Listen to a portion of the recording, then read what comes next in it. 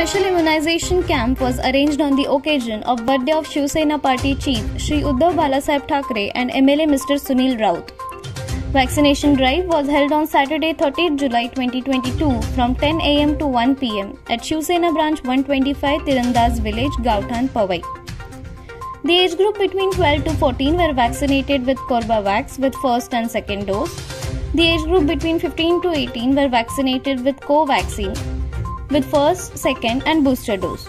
The 18 and above age group were again vaccinated with first, second, and booster dose.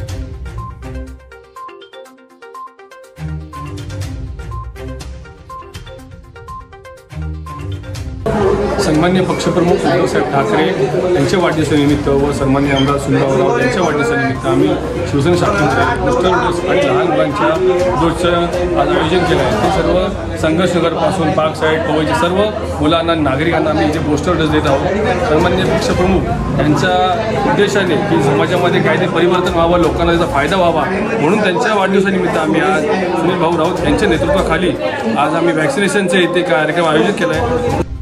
Everyone knows that party is facing crisis, but still you guys managed to keep this beautiful and helpful program under MLA Mr. Sunil Raut.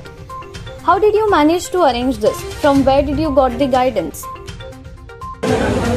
अभी आपको एक बताता हूँ मैं वंदनीय शिवसेना प्रमुख आदरणीय बाला साहब ठाकरे जी का एक सीख है हमें कि राजनीति कम करो और समाज सेवा ज़्यादा करो 80 टक्का समाज सेवा करनी है इससे ही प्रेरणा हमें जन्मजात मिली है और इसी कारण से ये सामाजिक उपक्रम चालू रहते हैं। तीन सौ पैंसठ दिन शिवसेना शाखा के माध्यम से चालू रहते हैं। आप कभी भी आओ, यहाँ पे आपको बहुत सारे लोग अपने अपने प्रश्न लेके आके अपने छुड़ाते हुए, मदद लेते हुए दिखाई देंगे। उसी प्रकार से ये कार्यक्रम चालू है और सुनील राउत जी अच्छी तरह से सहकार्य करते हैं और पक्ष प्रमुख उद्धव जी के नेतृत्व में ये सब चालू है। अब दूसरी बात रही इस हालात आजकल की जो राजकीय परिस्थिति है उसके ऊपर। तो ऐसी कुछ संकट वगैरह कुछ आया नहीं है, क्योंकि झंडा भी हमारे साथ है और डंडा भी हमारे हाथ में है। तो ऐसा कुछ होता नहीं है। जो गए हैं, वो जाने दो। ऐसी बहुत सारी कठिनाइयाँ परिस्थिति आई है।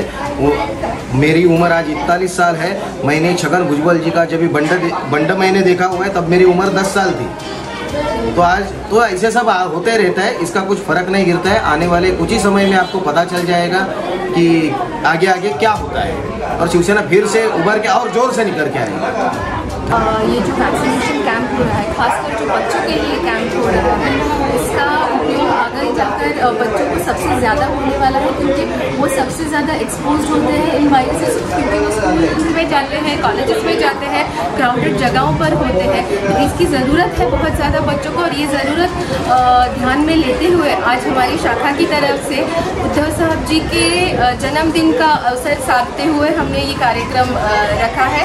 और हम यही प्रार्थना करेंगे कि कोविड का संकट जल्द से जल्द चला जाए और जैसे काम बुद्धा साहब ने कोविड पीरियड में किया है वैसा ही काम आगे भी जाके महाराष्ट्र में शिवसेना के माध्यम से होते होता रहे Thank you for watching. Subscribe to JJH News and press the bell icon to get the latest updates about your locality.